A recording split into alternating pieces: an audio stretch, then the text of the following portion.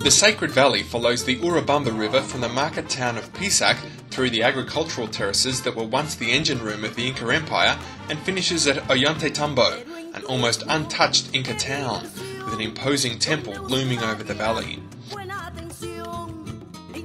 The day starts with a walk through the Pisac markets. The town is swathed in white tarpaulins three days a week,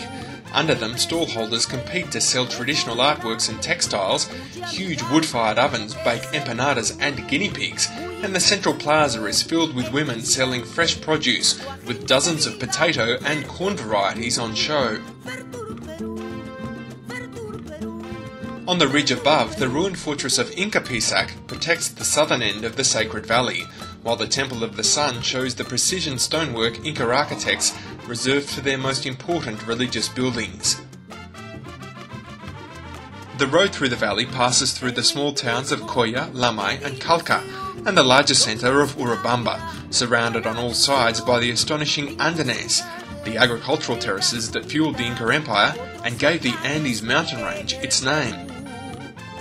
The town Ollantaytambo gives an insight into the Inca way of life, with streets, houses, and watercourses that survived the Spanish conquest. The imposing ridge leading up to the stunning views from the Temple of the Sun is a string of gigantic terraces, a fortress strong enough to repel the Spanish, while the unfinished temple at the top leaves you wondering how the Incas managed to move enormous rocks around the valley and up its ridges to shape them into precise stone walls by hand. Pero en turismo, qué diversión, donde usted vaya, buena atención, lindos lugares.